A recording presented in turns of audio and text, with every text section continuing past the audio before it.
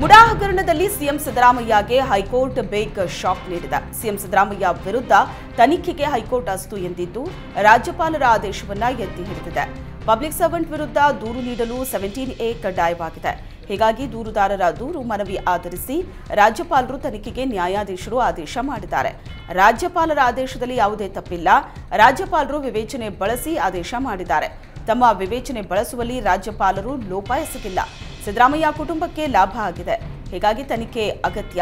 ರಾಜ್ಯಪಾಲರು ತರಾತುರಿಯಲ್ಲಿ ನಿರ್ಣಯ ತೆಗೆದುಕೊಂಡಿಲ್ಲ. ತನಿಖೆಗೆ ಆದೇಶ ನೀಡೋ ಕಾರಣಗಳನ್ನ ದಾಖಲೆಗಳಲ್ಲಿ ಉಲ್ಲೇಖಿಸಿದ್ದೇವೆ ಅನ್ನೋದು ತಪ್ಪಲ್ಲ. ರಾಜ್ಯಪಾಲರ ತನಿಖೆ ಆದೇಶ ಸರಿ ಅಂತ ಹೈಕೋರ್ಟ್ ಆದೇಶ ನೀಡಿದೆ. ಹೈಕೋರ್ಟ್ ತೀರ್ಪಿನ ಬೆನ್ನಲ್ಲೇ ಸಿಎಂಗೆ ಮತ್ತೊಂದು ಟೆನ್ಷನ್ ಶುರುವಾಗಿದೆ. ಇಂದು ಕೂಡ ಸಿಎಂ ಸಿದ್ದರಾಮಯ್ಯ ಪಾಲಿಗೆ ನಿರ್ಣಾಯಕ ದಿನವಾಗಿದೆ. ಹೈಕೋರ್ಟ್ ಆದೇಶದವರೆಗೂ ಜನಪ್ರತಿನಿಧಿ ಕೋರ್ಟ್ ತೀರ್ಪಿಗೆ ಹೈಕೋರ್ಟ್ ತಡೆ ನೀಡಿತ್ತು.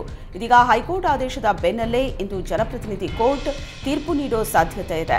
ಸಿಎಂ ಸಿದ್ದರಾಮಯ್ಯ ವಿರುದ್ಧ ಜನಪ್ರತಿನಿಧಿ ಕೋರ್ಟ್ ತನಿಖೆಗೆ ಆದೇಶಿಸಿದ್ರೆ ಸಿಎಂ ವಿರುದ್ಧ ಲೋಕಾಯುಕ್ತದಲ್ಲಿ ಎಫ್ಐಆರ್ ದಾಖಲಾಗಲಿದೆ. ಮೈಸೂರು ಲೋಕಾಯುಕ್ತ ಪೊಲೀಸರಿಂದ ಮುಡಾ ಕೇಸ್ ತನಿಖೆ ನಡೆಯಲಿದೆ. ಮುಡಾ ಹಗರಣ ಸಂಬಂಧ ಸಿಎಂ ಸಿದ್ದರಾಮಯ್ಯಗೆ ಬಿಗ್ ಸೆಟ್ ಬ್ಯಾಕ್ ಆಗಿದೆ. ಸಿಎಂ ಸಿದ್ದರಾಮಯ್ಯ ವಿರುದ್ಧ ತನಿಖೆಗೆ ರಾಜ್ಯಪಾಲರು ನೀಡಿದ ಆದೇಶವನ್ನ ಹೈಕೋರ್ಟ್ ಎತ್ತಿ ಹಿಡಿದಿದೆ. ಹೈಕೋರ್ಟ್ ಏಕಸದಸ್ಯ ಪೀಠದ ಆದೇಶದ ಬೆನ್ನಲ್ಲೇ ಹೈಕೋರ್ಟ್ ವಿಭಾಗೀಯ ಪೀಠದಲ್ಲಿ ಮೇಲ್ಮನವಿ ಸಲ್ಲಿಸಲು ಸಿಎಂ ಸಿದ್ದರಾಮಯ್ಯ ನಿರ್ಧರಿಸಿದ್ದಾರೆ. ಕಾನೂನು ಸಲಹೆಗಾರರ ಜೊತೆ ಚರ್ಚೆ ನಡೆಸಿ ಹೈಕೋರ್ಟ್ ವಿಭಾಗೀಯ ಪೀಠದಲ್ಲಿ ಮೇಲ್ಮನವಿ ಸಲ್ಲಿಸಲಿದ್ದಾರೆ. ಮುಡಾ ಹಗರಣದಲ್ಲಿ ಸಿಎಂ ಸಿದ್ದರಾಮಯ್ಯ ವಿರುದ್ಧ ತನಿಖೆಗೆ ಹೈಕೋರ್ಟ್ ಅಸ್ತು ಎಂದಿದ್ದು ರಾಜ್ಯಪಾಲರ ಆದೇಶವನ್ನ ಎತ್ತಿ ಹಿಡಿದಿದೆ. ಸಿಎಂ ಸಿದ್ದರಾಮಯ್ಯ ರಾಜೀನಾಮೆಗೆ ವಿಪಕ್ಷಗಳು ಪಟ್ಟು ಹಿಡಿದಿವೆ. ಇನ್ನು ಹೈಕೋರ್ಟ್ ಆದೇಶದ ಬೆನ್ನಲ್ಲೇ ಸುದ್ದಿಗೋಷ್ಠಿ ನಡೆಸಿದ ಸಿಎಂ ಸಿದ್ದರಾಮಯ್ಯ, ರಾಜೀನಾಮೆ ನೀಡೋ ತಪ್ಪು ನಾನೇನೂ ಮಾಡಿಲ್ಲ, ಯಾವುದೇ ಕಾರಣಕ್ಕೂ ರಾಜೀನಾಮೆ ನೀಡಲ್ಲ ಅಂತ ಹೇಳೋ ಮೂಲಕ ವಿಪಕ್ಷಗಳಿಗೆ ತಿರುಗೇಟು ನೀಡಿದ್ದಾರೆ. ಬಿಜೆಪಿ ಹಿಂಬಾಗಿಲಿನಿಂದ ಅಧಿಕಾರಕ್ಕೆ ಬಂದಿರುವುದು ಸ್ವಂತ ಬಲದ ಮೇಲೆ ಯಾವತ್ತೂ ಅಧಿಕಾರಕ್ಕೆ ಬಂದಿಲ್ಲ. ನಮ್ಮ ಸರ್ಕಾರಕ್ಕೆ ಕೆಟ್ಟ ಹೆಸರು ತರುವುದಕ್ಕೆ ಪ್ರಯತ್ನ ಮಾಡ್ತಿದ್ದಾರೆ ಅಂತ ಕಿಡಿಕಾರಿದ್ರು. ಇದೇ ವೇಳೆ ಕಾನೂನು ನುರಿತರ ಜೊತೆ ಚರ್ಚಿಸಿ ಮುಂದಿನ ಕಾನೂನು ಹೋರಾಟದ ಬಗ್ಗೆ ತೀರ್ಮಾನಿಸಲಾಗುವುದು ಅಂತ ಹೇಳಿದರು. ಸಿಎಂ ಸಿದ್ದರಾಮಯ್ಯ ವಿರುದ್ಧ ತನಿಖೆಗೆ ಹೈಕೋರ್ಟ್ ಅಸ್ತು ಎಂದಿದ್ದು ರಾಜ್ಯಪಾಲರ ಆದೇಶವನ್ನ ಎತ್ತಿ ಹಿಡಿದಿದೆ. ಈ ಕುರಿತು ಮಾಧ್ಯಮಗಳ ಜೊತೆ ಮಾತನಾಡಿದ DCM DK Shivakumar, high court ತೀರ್ಪನ್ನ ನಾನು ಇನ್ನೂ ಗಮನಿಸಿಲ್ಲ. ನಮ್ಮ ಸಿಎಂ ವಿರುದ್ಧ ದೊಡ್ಡ ಷಡ್ಯಂತ್ರ ನಡೆದಿದೆ. ಸಿಎಂ ಸಿದ್ದರಾಮಯ್ಯ ತನಿಖೆ ಎದುರಿಸಿ ನಿರಪರಾಧಿಯಾಗಿ ಹೊರಬರುತ್ತಾರೆ. ಇಡೀ ಪಕ್ಷ ಸಿಎಂ ಜೊತೆಗೆ ನಿಲ್ಲಲಿದೆ ಅಂತ ಹೇಳೋ ಮೂಲಕ ಸಿಎಂ ಸಿದ್ದರಾಮಯ್ಯ ಪರ ಡಿಸಿಎಂ ಡಿಕೆ ಶಿವಕುಮಾರ್ ಬ್ಯಾಟ್ ಬೀಸಿದರು.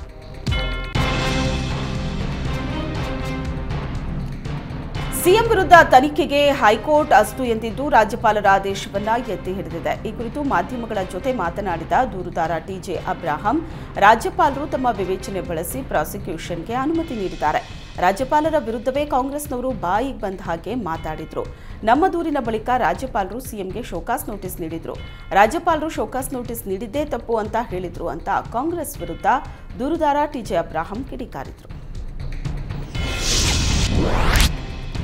ಸಿಎಂ ಸಿದ್ದರಾಮಯ್ಯ ವಿರುದ್ಧ ತನಿಖೆ, ಹೈಕೋರ್ಟ್ ಆದೇಶವನ್ನ ವಿಪಕ್ಷ ನಾಯಕ ಆರ್ ಅಶೋಕ್ ಸ್ವಾಗತಿಸಿದ್ದಾರೆ. ನಾವು ವಿಧಾನಸೌಧದ ಒಳಗಡೆ ಹೊರಗಡೆ ಧರಣಿ ಮಾಡಿದ್ವಿ. ನಮ್ಮ ಹೋರಾಟದ ಫಲವಾಗಿ ಇಂದು ಜಯ ಸಿಕ್ಕಿದೆ. ಸತ್ಯಮೇವ ಜಯತೆ, ಯಾವತ್ತೂ ಸತ್ಯ ಗೆದ್ದೇ ಗೆಲ್ಲತ್ತೆ. ಈ ಆದೇಶದಿಂದ ರಾಜ್ಯ ಕಾಂಗ್ರೆಸ್ ಭ್ರಷ್ಟಾಚಾರಿ ಅನ್ನೋದು ಸಾಬೀತಾಗಿದೆ. ಸಿಎಂ ಸಿದ್ದರಾಮಯ್ಯಗೆ ಗಣೇಶನ ಶಾಪ ತಟ್ಟಿದೆ. ಕಾಂಗ್ರೆಸ್ ಸರ್ಕಾರ ಗಣೇಶನನ್ನೇ ಬಂಧನ ಮಾಡಿಬಿಟ್ರು. ಗಣೇಶನನ್ನ ಕೂರಿಸೋದಕ್ಕೆ ಮತ್ತು ಮೆರವಣಿಗೆಗೆ ನಿರ್ಬಂಧ ಹಾಕಿದ್ರು. ಮಸೀದಿ ಮುಂದೆ ಹೋಗಬಾರದು, ಸಾರ್ವಜನಿಕ ಸ್ಥಳದಲ್ಲಿ ನಿರ್ಬಂಧ ಹಾಕಿದ್ರು. ಗಣೇಶನಿಗೆ ದಿಗ್ಬಂಧನ ಹಾಕಿದ್ರು, ಹಾಗಾಗಿ ಗಣೇಶನೇ ಶಾಪ ಕೊಟ್ಟಿದ್ದಾನೆ.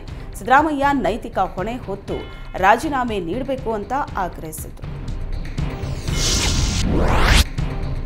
ಸಿಎಂ ಸಿದ್ದರಾಮಯ್ಯ ವಿರುದ್ಧ ತನಿಖೆಗೆ ಹೈಕೋರ್ಟ್ ಅಸ್ತು ಎಂದಿದ್ದು ರಾಜ್ಯಪಾಲರ ಆದೇಶವನ್ನ ಎತ್ತಿ ಹಿಡಿದಿದೆ. ಈ ಕುರಿತು ಮಾತನಾಡಿದ ಬಿಜೆಪಿ ರಾಜ್ಯಾಧ್ಯಕ್ಷ ಬಿವೈ ವಿಜಯೇಂದ್ರ ಮುಡಾ ಹಗರಣದಲ್ಲಿ ಸಿದ್ದರಾಮಯ್ಯ ಕುಟುಂಬವೇ ಫಲಾನುಭವಿ. ಭ್ರಷ್ಟ ಮುಖ್ಯಮಂತ್ರಿ ವಿರುದ್ಧ ಬಿಜೆಪಿ ಹೋರಾಟ ಮಾಡಿತ್ತು. ರಾಜ್ಯಪಾಲರು ವಿವೇಚನಾಧಿಕಾರ ಬಳಸಿ ತನಿಖೆಗೆ ಅನುಮತಿ ನೀಡಿದ್ದಾರೆ. ಕಾಂಗ್ರೆಸ್ನವರು ರಾಜ್ಯಪಾಲರ ವಿರುದ್ಧವೇ ಬೊಬ್ಬೆ ಹೊಡೆದರು. ಹೈಕೋರ್ಟ್ ರಾಜ್ಯಪಾಲರ ಆದೇಶವನ್ನ ಎತ್ತಿ ಹಿಡಿದಿದೆ. ಹೈಕೋರ್ಟ್ ತೀರ್ಪು ಗೌರವಿಸಿ ಸಿಎಂ ರಾಜೀನಾಮೆ ನೀಡಬೇಕು ಅಂತ ಆಗ್ರಹಿಸಿದರು. ಸಿಎಂ ಸಿದ್ದರಾಮಯ್ಯ ರಾಜೀನಾಮೆಗೆ ಆಗ್ರಹಿಸಿ ದಾವಣಗೆರೆಯಲ್ಲಿ ಬಿಜೆಪಿ ಪ್ರತಿಭಟನೆ ನಡೆಸಿದೆ. ಈ ವೇಳೆ ಮಾಜಿ ಸಚಿವ ಎಂಪಿ ರೇಣುಕಾಚಾರ್ಯ ಮಾತನಾಡಿ, ನಮ್ಮ ಹೋರಾಟ ಸಿದ್ದರಾಮಯ್ಯ ವಿರುದ್ಧ ಅಲ್ಲ, ಬ್ರಹ್ಮಾಂಡ ಭ್ರಷ್ಟಾಚಾರದ ವಿರುದ್ಧ. ಕಾನೂನು ತಜ್ಞರ ಜೊತೆ ಚರ್ಚಿಸಿ ರಾಜ್ಯಪಾಲರು ಆದೇಶ ನೀಡಿದ್ದಾರೆ. ಬಿಜೆಪಿ ಆದೇಶದಂತೆ ರಾಜ್ಯಪಾಲರು ನಡೆದುಕೊಂಡಿಲ್ಲ ಹೈಕೋರ್ಟ್ ಕೂಡ ಸ್ಪಷ್ಟವಾಗಿ ರಾಜ್ಯಪಾಲರ ಆದೇಶವನ್ನ ಎತ್ತಿ ಹಿಡಿದಿದೆ. ಆದರೆ ಸಿದ್ದರಾಮಯ್ಯ ಭಂಡತನದಿಂದ ವಿವಿಧ ಸೆಕ್ಷನ್ ಹೇಳ್ತಾರೆ. ಇದೇ ಸಿದ್ದರಾಮಯ್ಯ ಯಡಿಯೂರಪ್ಪ ವಿಚಾರ ಬಂದಾಗ ರಸ್ತೆಯಲ್ಲಿ ನಿಂತು ಬಾಯಿ ಬಡ್ಕೊಂಡಿದ್ರು. ಬೇರೆಯವರಿಗೊಂದು ಕಾನೂನು, ಸಿದ್ದರಾಮಯ್ಯಗೆ ಒಂದು ಕಾನೂನ, ಮೊದಲು ರಾಜೀನಾಮೆ ಕೊಟ್ಟು ಆಮೇಲೆ ಸುಪ್ರೀಂ ಕೋರ್ಟ್ಗೆ ಹೋಗಿ ಅಂತ ಕಿಡಿಕಾರಿದ್ರು. ಮುಡಾ ಹಗರಣದಲ್ಲಿ ಸಿದ್ದರಾಮಯ್ಯ ಅಪರಾಧಿ ಅನ್ನೋದು ಸಾಬೀತಾಗಿದೆ. ಹೀಗಾಗಿ ಸಿಎಂ ಕೂಡಲೇ ರಾಜೀನಾಮೆ ನೀಡಬೇಕು ಅಂತ ಕೇಂದ್ರ ಸಚಿವೆ ಶೋಭಾ ಕರಂದ್ಲಾಜೆ ಆಗ್ರಹಿಸಿದ್ದಾರೆ. ರಾಜ್ಯಪಾಲರು ಕೊಟ್ಟಿದ್ದ ಪ್ರಾಸಿಕ್ಯೂಷನ್ ಆದೇಶವನ್ನ ಹೈಕೋರ್ಟ್ ಎತ್ತಿ ಹಿಡಿದಿದೆ. ಮುಡಾಗೆ ಹಳ್ಳಿಯಲ್ಲಿ ಕೊಟ್ಟು ಪ್ರತಿಷ್ಠಿತ ಜಾಗದಲ್ಲಿ ಸೈಟ್ ಪಡೆದಿದ್ದಾರೆ. ಪ್ರಭಾವ ಬಳಸಿ ಕುಟುಂಬದವರಿಗೆ ಸೈಟ್ ಕೊಡಿಸಿದ್ದಾರೆ. ಹೀಗಾಗಿ ಯಾವುದೇ ತನಿಖೆ ಆಗಲಿ, ಸಿದ್ದರಾಮಯ್ಯ ಸಿಎಂ ಸ್ಥಾನದಲ್ಲಿರುವುದು ಬೇಡ. ರಾಜೀನಾಮೆ ಕೊಟ್ಟು ತನಿಖೆಯನ್ನ ಎದುರಿಸಲಿ ಅಂತ ಸಲಹೆ ನೀಡಿದರು.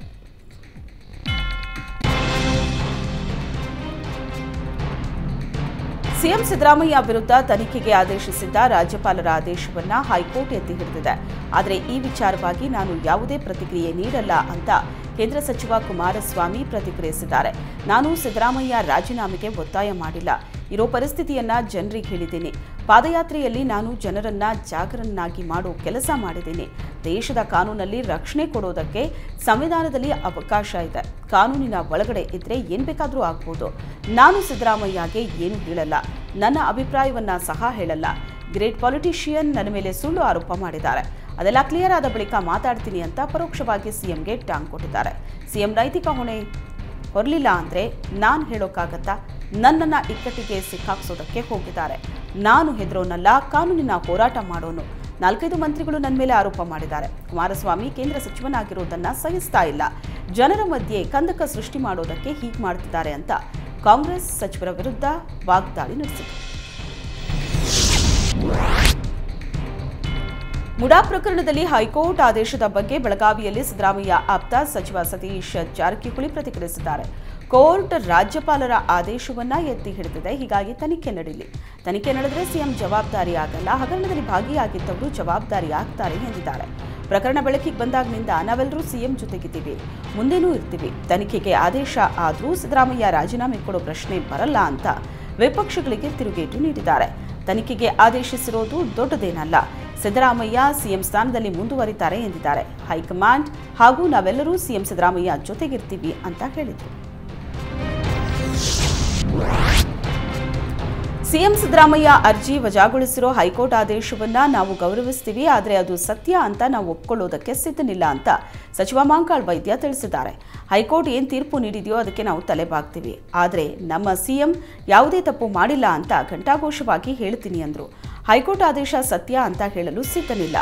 ನಾನು ಅದರ ಬಗ್ಗೆ ತಿಳ್ಕೊಂಡಿದ್ದೀನಿ. ಯಾವುದೇ ರೀತಿಯಲ್ಲಿ ನಮ್ಮ ಮುಖ್ಯಮಂತ್ರಿಗಳು ತಪ್ಪು ಮಾಡಿಲ್ಲ ಎಂದಿದ್ದಾರೆ. ಸಿಎಂ ರಾಜೀನಾಮೆಗೆ ಆಗ್ರಹಿಸುತ್ತಿರೋ ಬಿಜೆಪಿಗೆ ಶಾಸಕ ಕೊತ್ತೂರು ಮಂಜುನಾಥ್ ತಿರುಗೇಟು ಕೊಟ್ಟಿದ್ದಾರೆ. ಕೋರ್ಟ್ ಸಿಎಂ ಸಿದ್ದರಾಮಯ್ಯ ರಾಜೀನಾಮೆಗೆ ಸೂಚಿಸಿಲ್ಲ. ರಾಜೀನಾಮೆ ಅನಿವಾರ್ಯವಾದರೆ ಹೈಕಮಾಂಡ್ ನಿರ್ಧಾರ ಮಾಡುತ್ತೆ.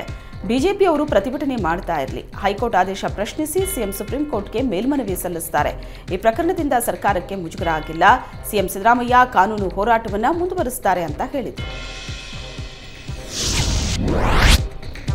ಸಿಎಂ ವಿರುದ್ಧ ತನಿಖೆಗೆ ಹೈಕೋರ್ಟ್ ಅನುಮತಿ ನೀಡಿದೆ. ಆದರೆ ರಾಜ್ಯಪಾಲರ ಮೂಲಕ ಬಿಜೆಪಿ ಈ ರೀತಿ ಷಡ್ಯಂತ್ರ ಮಾಡಿದೆ ಅಂತ ಶಾಸಕ ಚನ್ನಾರೆಡ್ಡಿ ಪಾಟೀಲ್ ಆರೋಪಿಸಿದ್ದಾರೆ. ಬಿಜೆಪಿ ಅವರಿಗೆ ಹೊಟ್ಟೆಕಿಚ್ಚು ಹೆಚ್ಚಾಗಿದೆ. ಅವರಿಗೆ ಅಧಿಕಾರ ಇಲ್ಲದಕ್ಕೆ ಸಂಕಟ ಆಗಿದೆ. ಹೀಗಾಗಿ ಕಾಂಗ್ರೆಸ್ ಸರ್ಕಾರದ ಬಗ್ಗೆ ಇಲ್ಲಸಲ್ಲದ ಸುಳ್ಳು ಆಪಾದನೆ ಮಾಡುತ್ತಿದ್ದಾರೆ ಎರಡು ಮೂರು ತಿಂಗಳಿಂದ ಸಿದ್ದರಾಮಯ್ಯನವರು ಇಳಿಬೇಕು ಅಂತಿದ್ದಾರೆ. ಆದರೆ ಕಾಂಗ್ರೆಸ್ ಹೈಕಮಾಂಡ್ ಹಾಗೂ ಕಾಂಗ್ರೆಸ್ ಶಾಸಕರೆಲ್ಲ ಸಿಎಂ ಬೆಂಬಲಕ್ಕಿದ್ದಾರೆ ಅಂತ ಹೇಳಿದರು.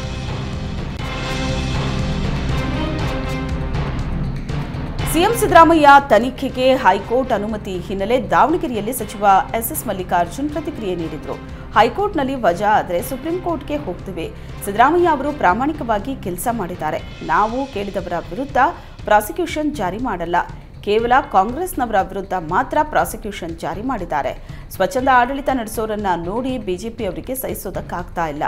ನಮಗೆ ಸಿದ್ದರಾಮಯ್ಯ ಅವರೇ ಮುಖ್ಯಮಂತ್ರಿ. ಅದರಲ್ಲಿ ಯಾವುದೇ ಗೊಂದಲ ಇಲ್ಲ ಅಂತ ಸಚಿವ ಎಸ್ಎಸ್ ಮಲ್ಲಿಕಾರ್ಜುನ್ ಹೇಳಿಕೆ ನೀಡಿದರು. ಮುಡಾ ಪ್ರಕರಣ ವಿಚಾರ ಹೈಕೋರ್ಟ್ನಲ್ಲಿ ಸಿಎಂ ಸಿದ್ದರಾಮಯ್ಯ ಸಲ್ಲಿಸಿದ್ದ ಅರ್ಜಿ ವಜಾ ಆಗಿದೆ ಈ ವಿಚಾರವಾಗಿ ಪೌರಾಡಳಿತ ಸಚಿವ ರಹೀಂ ಖಾನ್ ಪ್ರತಿಕ್ರಿಯೆ ನೀಡಿದ್ದು, ಮುಡಾ ಪ್ರಕರಣದಲ್ಲಿ ಸಿಎಂ ಸಿದ್ದರಾಮಯ್ಯನವರದ್ದು ಯಾವುದೇ ಪಾತ್ರವಿಲ್ಲ. ಆದರೆ ನ್ಯಾಯಾಲಯದಲ್ಲಿ ಆದೇಶ ಆಗಿದೆ. ನಾಳೆ ದ್ವಿಸದಸ್ಯ ಪೀಠದಲ್ಲಿ ನಮ್ಮವರು ಮನವಿ ಮಾಡ್ತಾರೆ. ದ್ವಿಸದಸ್ಯ ಪೀಠದಲ್ಲಿ ನ್ಯಾಯ ಸಿಗೋ ವಿಶ್ವಾಸವಿದೆ ಅಂತ ಹೇಳಿಕೆ ನೀಡಿದರು. ಸಿದ್ದರಾಮಯ್ಯ ರಾಜೀನಾಮೆ ನೀಡೋ ವಿಚಾರವಾಗಿ ಮಾತನಾಡಿದ ಸಚಿವ ರಹೀಂ ಖಾನ್, ಸಿದ್ದರಾಮಯ್ಯ ಅವರು ರಾಜೀನಾಮೆ ಕೊಡೋ ಪ್ರಶ್ನೆಯೇ ಇಲ್ಲ. ಯಡಿಯೂರಪ್ಪನವರ ಕೇಸ್ ಬೇರೆ, ಸಿದ್ದು ಕೇಸೇ ಬೇರೆ ಇಲ್ಲ ಅಂದರು. ಸಿದ್ದರಾಮಯ್ಯ ಮೇಲ್ಮನವಿ ಸಲ್ಲಿಸಿದ್ರು ಕೂಡ ಕಳಂಕ ಹಾಗೂ ಶಿಕ್ಷೆಯಿಂದ ತಪ್ಪಿಸಿಕೊಳ್ಳುವುದಕ್ಕಾಗಲ್ಲ ಅಂತ ಸಂಸದ ಗೋವಿಂದ ಕಾರಜೋಳ ಹೇಳಿದರು. ಮುಡಾ ಹಗರಣದ ಬಗ್ಗೆ ಹೈಕೋರ್ಟ್ ತೀರ್ಪು ನಿರೀಕ್ಷಿತ. ಸಿದ್ದರಾಮಯ್ಯ ತಪ್ಪು ಎದ್ದು ಕಾಣ್ತಾ ಇದೆ. ಆದರೆ ಭಂಡತನದಿಂದ ಸಿಎಂ ಸಿದ್ದರಾಮಯ್ಯ ಸಮರ್ಥನೆ ಮಾಡಿಕೊಳ್ತಾ ಇದ್ದಾರೆ. ಕೌಟುಂಬಿಕ ಸ್ವಾರ್ಥಕ್ಕಾಗಿ ಸಿಎಂ ಸಿದ್ದರಾಮಯ್ಯ ಬಲಿಯಾಗಿದ್ದಾರೆ. ಹೀಗಾಗಿ ಸಿಎಂ ಸ್ಥಾನಕ್ಕೆ ಸಿದ್ದರಾಮಯ್ಯ ರಾಜೀನಾಮೆ ಕೊಡಬೇಕು. ತಪ್ಪಾಗಿದೆ ರಾಜೀನಾಮೆ ಕೊಡಿ ಅಂತ ಕೇಳಬೇಕೇ ಹೊರತು ಸಚಿವರು ಕೂಡ ಸಮರ್ಥಿಸ್ಕೋಬಾರದು ಅಂತ ಹೇಳಿದರು. ಹೈಕೋರ್ಟ್ನಲ್ಲಿ ಸಿದ್ದರಾಮಯ್ಯ ಅರ್ಜಿ ವಜಾ ಆಗಿದೆ ಹೀಗಾಗಿ ಸಿದ್ದರಾಮಯ್ಯ ರಾಜೀನಾಮೆ ಕೊಟ್ಟು ತನಿಖೆ ಎದುರಿಸಲಿ ಅಂತ ಪ್ರತಾಪ್ ಸಿಂಹ ಹೇಳಿದರು. ಈ ಹಿಂದೆಯೇ ಸಿದ್ದರಾಮಯ್ಯಗೆ ಗಿಣಿ ಹೇಳಿದಂತೆ ಹೇಳಿದ್ದೆ. ನಿಮ್ಮ ಪತ್ನಿ ಹೆಸರಲ್ಲಿನ ಹದಿನಾಲ್ಕು ಸೈಟ್ ಸರ್ಕಾರಕ್ಕೆ ಹಸ್ತಾಂತರಿಸಿ ಅಂತ ಹೇಳಿದ್ದೆ. ಆದರೆ ನನ್ನ ಸಲಹೆ ಕೇಳಲಿಲ್ಲ. ಕಿಡಿಗೇಡಿಗಳ ಸಲಹೆಯನ್ನು ನೆಚ್ಚಿಕೊಂಡ್ರು. ಹೀಗಾಗಿ ಸಿದ್ದರಾಮಯ್ಯ ಅವರಿಗೆ ಈ ಸ್ಥಿತಿ ಬಂದಿದೆ. ಅವತ್ತೇ ಆ ಸೈಟ್ಗಳನ್ನು ಹಸ್ತಾಂತರ ಮಾಡಿದರೆ ಎಲ್ಲ ಪಕ್ಷದ ಎಲ್ಲ ಕಳ್ಳರು ಸಿಕ್ಕಾಕೊಳ್ತಾ ಇದ್ರು. ಸಿದ್ದರಾಮಯ್ಯ ಕಳಂಕದಿಂದ ಮುಕ್ತರಾಗ್ತಿದ್ರು. ಆದರೆ ನನ್ನ ಕಿವಿ ಮಾತು ಕೇಳಲಿಲ್ಲ. ಈಗಲಾದರೂ ನನ್ನ ಮಾತು ಕೇಳಿ. ವಿಳಂಬ ಮಾಡದೆ ತಕ್ಷಣ ರಾಜೀನಾಮೆ ಕೊಡಿ ಅಂತ ಸಲಹೆ ನೀಡಿದರು. ಸಿಎಂ ಸಿದ್ದರಾಮಯ್ಯ ಕಾನೂನು ಹೋರಾಟ ಮುಂದುವರೆಸ್ತಾರೆ. ನಮ್ಮ ಸಿಎಂ ರಾಜೀನಾಮೆ ನೀಡೋ ಅವಶ್ಯಕತೆ ಇಲ್ಲ ಅಂತ ಸಚಿವ ಆರ್ ಬಿ ತಿಮ್ಮಾಪುರ್ ಹೇಳಿದರು. ಇಂತಹ ಷಡ್ಯಂತ್ರಕ್ಕೆ ಕರ್ನಾಟಕ ಸರ್ಕಾರವನ್ನ ಬಲಿ ಕೊಡುವುದಕ್ಕೆ ಸಾಧ್ಯವಿಲ್ಲ. ಜನರು ಸಿದ್ದರಾಮಯ್ಯ ನೇತೃತ್ವದ ನೂರ ಮೂವತ್ತೈದು ಶಾಸಕರನ್ನ ಆಯ್ಕೆ ಮಾಡಿ ಕಳಿಸಿದ್ದಾರೆ. ಸಿದ್ದರಾಮಯ್ಯ ಅವರೇ ಯಾವುದೇ ಕಾರಣಕ್ಕೂ ವಿಚಲಿತರಾಗಬೇಡಿ. ನಿಮ್ಮ ಜೊತೆಗೆ ಡಿಕೆಶಿ ಸಚಿವರು, ಶಾಸಕರು ಇದ್ದೀವಿ. ಮುಂದೆ ಕಾನೂನು ಹೋರಾಟ ಮಾಡೋದಕ್ಕೆ ಅವಕಾಶ ಇದೆ. ಕಾನೂನು ಹೋರಾಟ ಮಾಡೋದಕ್ಕೆ ನಾವು ಕೂಡ ಸಿದ್ಧರಿದ್ದೀವಿ. ಇದರಲ್ಲಿ ನೈತಿಕತೆ ಪ್ರಶ್ನೆಯೇ ಇಲ್ಲ. ಇದರಲ್ಲಿ ಷಡ್ಯಂತ್ರ ಇದೆ. ದ್ವಿಸದಸ್ಯ ಪೀಠ ಸುಪ್ರೀಂ ಕೋರ್ಟ್ ಹೋಗಿ ನ್ಯಾಯ ದೊರಕಿಸ್ಕೊಳ್ತೀವಿ ಅಂತ ಹೇಳಿದರು.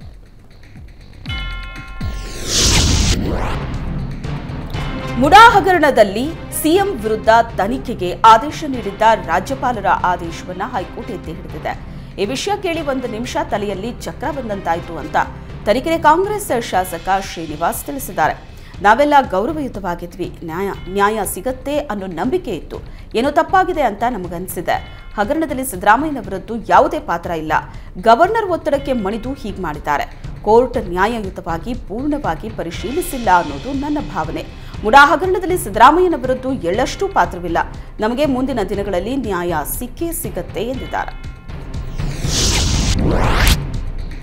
ಮುಡಾ ಪ್ರಕರಣದಲ್ಲಿ ಸಿದ್ದರಾಮಯ್ಯ ಹೈಕೋರ್ಟ್ಗೆ ಸಲ್ಲಿಸಿದ್ದ ಅರ್ಜಿ ವಜಾಗೊಂಡಿದೆ. ಇದೇ ವೇಳೆ ಸಿಎಂ ಸಿದ್ದರಾಮಯ್ಯ ವಿರುದ್ಧ ಮಾಜಿ ಶಾಸಕ ಜಿಎಚ್ ತಿಪ್ಪಾರೆಡ್ಡಿ ವಾಗ್ದಾಳಿ ನಡೆಸಿದ್ದಾರೆ. ಮುಡಾ ಪ್ರಕರಣದಲ್ಲಿ ಸಾಕಷ್ಟು ಪುರಾವೆಗಳಿವೆ. ವಾಲ್ಮೀಕಿ ಹಗರಣದಲ್ಲಿ ಸರ್ಕಾರದ ಖಜಾನೆಯಿಂದಲೇ ಹಣ ಲೂಟಿಯಾಗಿದೆ. ಅರ್ಕಾವತಿ ಪ್ರಕರಣದ ಬಗ್ಗೆ ರಾಜ್ಯಪಾಲರು ಮಾಹಿತಿ ಕೇಳಿದ ವಿಚಾರ ಮಾತಾಡಿ, ಹಳೆ ಕೇಸ್ ಹುಡುಕ್ತಾ ಇದ್ದಾರೆ ಅಂತ ಸಿಎಂ ಹೇಳಿದ್ದಾರೆ. ಎಚ್ಡಿಕೆ ಬಿಎಸ್ವೈ ವಿರುದ್ಧ ಸಿಎಂ ಡಿನೋಟಿಫಿಕೇಶನ್ ಕೇಸ್ ಹುಡುಕ್ತಿದ್ದಾರಲ್ವಾ? ಮೊದಲು ಸಿದ್ದರಾಮಯ್ಯ ದೇವಸ್ಥಾನಗಳಿಗೆ ಹೋಗ್ತಾ ಇರಲಿಲ್ಲ. ಆದರೆ ಇತ್ತೀಚೆಗೆ ಒಂದು ತಿಂಗಳಿಂದ ಒಂದೂ ದೇವಸ್ಥಾನ ಬಿಡದೆ ದರ್ಶನ ಮಾಡುತ್ತಿದ್ದಾರೆ ಅಂತ ವ್ಯಂಗ್ಯ ಮಾಡಿದ್ದಾರೆ. ಸಿಎಂ ಸ್ಥಾನಕ್ಕೆ ಸಿದ್ದರಾಮಯ್ಯ ರಾಜೀನಾಮೆ ನೀಡಬೇಕು ಅಂತ ಸಿದ್ದರಾಮಯ್ಯ ವಿರುದ್ಧ ಮಾಜಿ ಶಾಸಕ ಜಿಎಚ್ ತಿಪ್ಪಾರೆಡ್ಡಿ ವಾಗ್ದಾಳಿ ನಡೆಸಿದರು. ಸಿಎಂ ಸಿದ್ದರಾಮಯ್ಯಗೆ ಮುಡಾಹಗರಣ ಉರುಳಾಗಿ ಪರಿಣಮಿಸಿದೆ. ಸಿಎಂ ವಿರುದ್ಧ ರಾಜ್ಯಪಾಲರ ತನಿಖೆ ಆದೇಶವನ್ನ ಹೈಕೋರ್ಟ್ ಎತ್ತಿ ಹಿಡಿದ ಬೆನ್ನಲ್ಲೇ ಸಿಎಂ ಸಿದ್ದರಾಮಯ್ಯ ರಾಜೀನಾಮೆಗೆ ಪಟ್ಟು ಹಿಡಿದು ಬಿಜೆಪಿ ನಾಯಕರು ಬೀದಿಗಿಳಿದಿದ್ದಾರೆ. ಧಾರವಾಡ, ಬೆಳಗಾವಿ, ಹುಬ್ಬಳ್ಳಿ ಸೇರಿದಂತೆ ರಾಜ್ಯದ ಹಲವು ಕಡೆ ಸಿಎಂ ವಿರುದ್ಧ ಹೋರಾಟ ನಡೆಸಿದ್ರು. ಸಿಎಂ ಸಿದ್ದರಾಮಯ್ಯ ವಿರುದ್ಧ ಘೋಷಣೆ ಕೂಗಿ ಮುಡಾ ಹಗರಣದಲ್ಲಿ ಸಿಎಂ ಕುಟುಂಬವೇ ಭಾಗಿಯಾಗಿದೆ. ಹೀಗಾಗಿ ಸಿಎಂ ತಕ್ಷಣ ರಾಜೀನಾಮೆ ನೀಡಬೇಕು ಅಂತ ಆಗ್ರಹಿಸಿದ್ರು. ಸಿದ್ದರಾಮಯ್ಯ ವಿರುದ್ಧ ತನಿಖೆ ಬಗ್ಗೆ ಹೈಕೋರ್ಟ್ ರಾಜ್ಯಪಾಲರ ಆದೇಶವನ್ನ ಎತ್ತಿ ಹಿಡಿತಾ ಇದ್ದಂತೆ ಕಮಲ ಪಡೆ ರಸ್ತೆಗಿಳಿದಿದೆ. ಹೈಕೋರ್ಟ್ ಆದೇಶ ಹೊರಬೀಳ್ತಾ ಇದ್ದಂತೆ ಮಂಡ್ಯದ ಸಂಜೆ ವೃತ್ತದಲ್ಲಿ ಸಿಎಂ ವಿರುದ್ಧ ಬಿಜೆಪಿ ಕಾರ್ಯಕರ್ತರು ಪ್ರತಿಭಟನೆ ನಡೆಸಿದರು. ಸಿದ್ದರಾಮಯ್ಯಗೆ ಕೆರಗೋಡು ಹನುಮನ ಶಾಪ, ನಾಗಮಂಗಲದ ಗಣೇಶನ ಶಾಪ, ಚಾಮುಂಡೇಶ್ವರಿ ಶಾಪ ತಟ್ಟಿದೆ. ನೈತಿಕ ಹೊಣೆ ಹೊತ್ತು ತಕ್ಷಣವೇ ರಾಜೀನಾಮೆ ಕೊಡುವಂತೆ ಆಗ್ರಹಿಸಿದರು. ಪ್ರತಿಭಟನೆ ವೇಳೆ ಯಾವುದೇ ಅಹಿತಕರ ಘಟನೆಗಳು ನಡೆಯದಂತೆ ಮುಂಜಾಗ್ರತಾ ಕ್ರಮವಾಗಿ ಪೊಲೀಸರು ಕಟ್ಟೆಚ್ಚರ ವಹಿಸಿದರು. ಮುಡಾ ಪ್ರಕರಣ ಸಂಬಂಧ ರಾಜ್ಯಪಾಲರ ಆದೇಶವನ್ನ ಹೈಕೋರ್ಟ್ ಎತ್ತಿ ಹಿಡಿದಿದೆ. ಹೀಗಾಗಿ ಸಿಎಂ ರಾಜೀನಾಮೆಗೆ ಆಗ್ರಹಿಸಿ ರಾಮನಗರದಲ್ಲಿ ಬಿಜೆಪಿ ಪ್ರತಿಭಟನೆ ನಡೆಸಿತು. ಸಿದ್ದರಾಮಯ್ಯ ಭಾವಚಿತ್ರ ಹಿಡಿದು ಭ್ರಷ್ಟಾಚಾರದ ಆರೋಪವನ್ನ ಎದುರಿಸ್ತಾ ಇರೋ ಸಿದ್ದರಾಮಯ್ಯ ಈ ಕೂಡಲೇ ತಮ್ಮ ಸಿಎಂ ಸ್ಥಾನಕ್ಕೆ ರಾಜೀನಾಮೆ ಕೊಡಬೇಕು. ಅವರು ಸಮಾಜವಾದಿ ಅಲ್ಲ ಮಜಾವಾದಿಯಾಗಿದ್ದಾರೆ ನ್ಯಾಯಾಲಯದ ತೀರ್ಪನ್ನ ಒಪ್ಪಿ ಸಿಎಂ ಸ್ಥಾನಕ್ಕೆ ರಾಜೀನಾಮೆ ಕೊಡಬೇಕು. ಇಲ್ಲವಾದರೆ ಉಗ್ರ ಹೋರಾಟ ಮಾಡ್ತೀವಿ ಅಂತ ಎಚ್ಚರಿಕೆ ನೀಡಿದರು.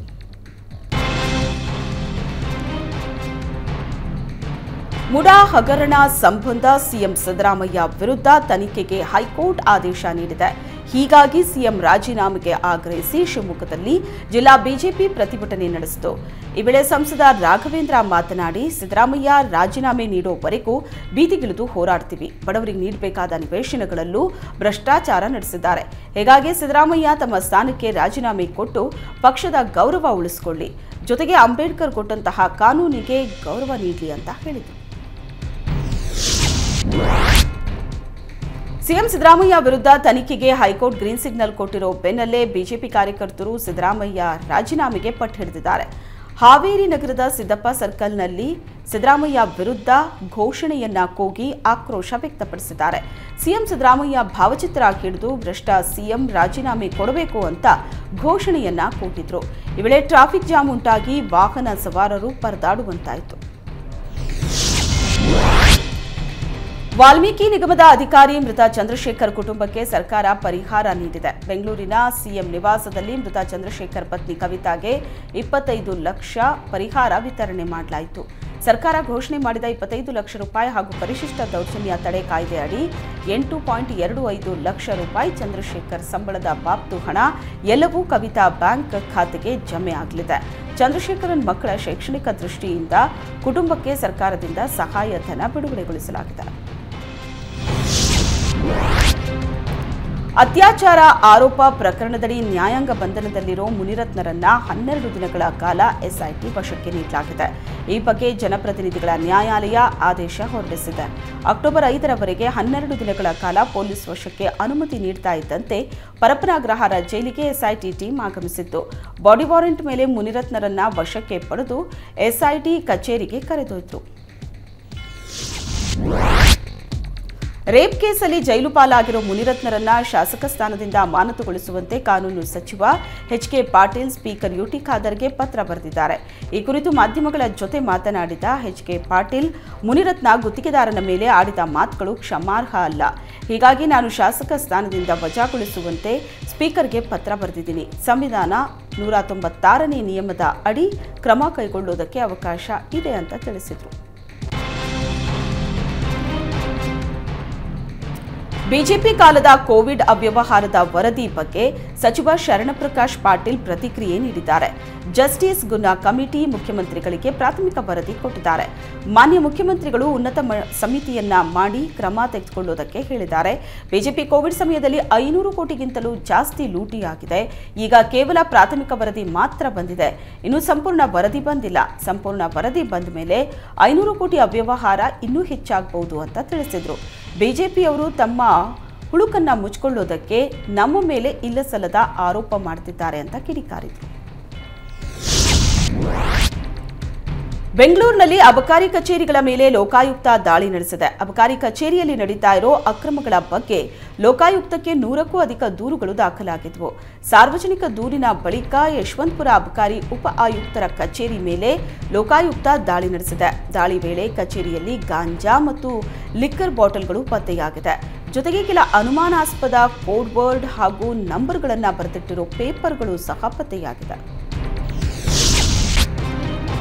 ತಿರುಪತಿ ಲಡ್ಡು ತಯಾರಿಕೆಗೆ ಬಳಸೋ ತುಪ್ಪದಲ್ಲಿ ಕಲಬೆರಕೆ ಆರೋಪ ಆಂಧ್ರಪ್ರದೇಶದಲ್ಲಿ ಕೋಲಾಹಲವನ್ನೇ ಸೃಷ್ಟಿಸಿದೆ.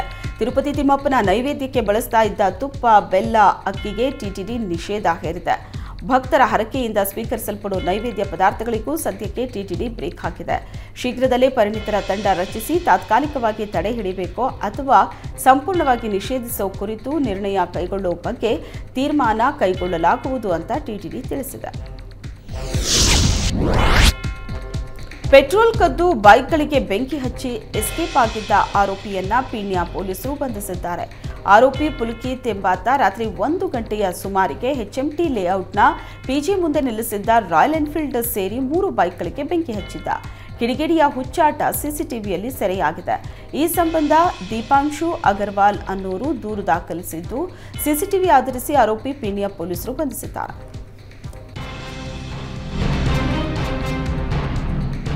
ಚಿಕ್ಕಮಗಳೂರು ತಾಲೂಕಲ್ಲಿ ಕಾಡುಕೋಣಗಳ ಕಾಟ ಹೆಚ್ಚಾಗ್ತಾ ಇದೆ. ಗೋರಿಗಂಡಿ ಗ್ರಾಮದ ಗದ್ದೆಗಳಿಗೆ ಕಾಡುಕೋಣಗಳ ಹಿಂಡು ನುಗ್ಗಿ ಸುಮಾರು ಎರಡು ಎಕರೆ ಭತ್ತದ ಬೆಳೆಯನ್ನ ನಾಶ ಮಾಡಿದೆ. ಗ್ರಾಮದ ದಿನೇಶ್ ದುಗ್ಗಯ್ಯ ಅನ್ನೋರ ಗದ್ದೆಯಲ್ಲಿ ಬೆಳೆಯನ್ನ ಬಹುತೇಕ ತಿಂದು ತುಳಿದು ನಾಶ ಮಾಡಿದೆ. ಈ ಬಾರಿ ಉತ್ತಮ ಮಳೆಯಾಗಿದ್ದರಿಂದ ಬೆಳೆ ಉತ್ತಮವಾಗಿ ಬಂದಿತ್ತು. ಆದರೆ ಕಳೆದ ಹತ್ತು ದಿನಗಳಿಂದ ನಿರಂತರವಾಗಿ ಜಮೀನಿಗೆ ನುಗ್ಗಿದಂಥ ಕಾಡು ಕೋಣಗಳ ಹಿಂಡು ಭತ್ತದ ಬೆಳೆಯನ್ನ ನಾಶ ಮಾಡ್ತಾ ಇದೆ. ಹೀಗಾಗಿ ರೈತರು ಕಂಗಾಲಾಗಿದ್ದಾರೆ. ಬಸ್ನಲ್ಲಿ ಯುವತಿ ಜೊತೆ ಅನುಚಿತ ವರ್ತನೆ ತೋರಿದ್ದಕ್ಕೆ ಅನ್ಯ ಕೋಮಿನ ಯುವಕನ ಮೇಲೆ ಹಲ್ಲೆ ನಡೆಸಲಾಗಿತ್ತು. ಬಳಿಕ ಹಲ್ಲೆ ನಡೆಸಿದ ಆರೋಪದಡಿ ಹಿಂದೂ ಯುವಕರನ್ನ ಸುಳ್ಯ ಪೊಲೀಸರು ಬಂಧಿಸಿದ್ರು. ಇದನ್ನ ಖಂಡಿಸಿ ಸುಳ್ಯ ಪೊಲೀಸ್ ಠಾಣೆಯ ಎದುರು ಹಿಂದೂ ಹಿತರಕ್ಷಣಾ ವೇದಿಕೆ ಪ್ರತಿಭಟನೆ ನಡೆಸಿತು.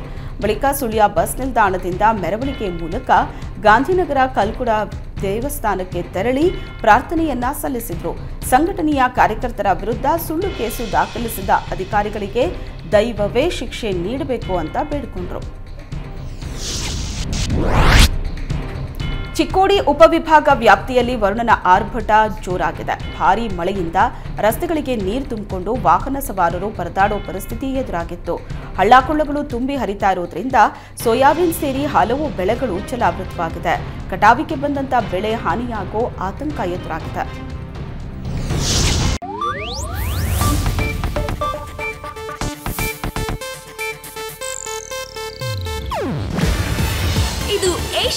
ನ್ಯೂಸ್ ನೆಟ್ವರ್ಕ್ ಪ್ರಸ್ತುತಿ. ನೀವು ನೋಡ್ತಿದ್ದೀರಾ ಏಷ್ಯಾ ನೆಟ್ ಸುವರ್ಣ ನ್ಯೂಸ್.